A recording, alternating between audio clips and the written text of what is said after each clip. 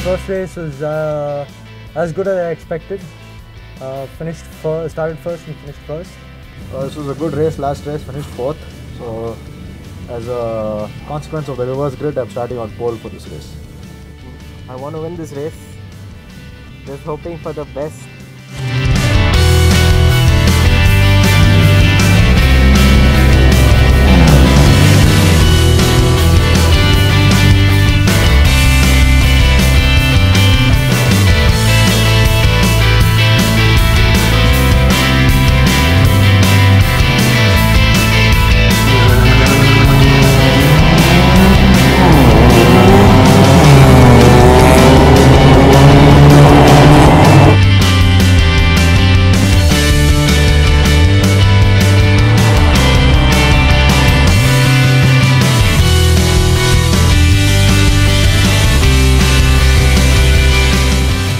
Fantastic race.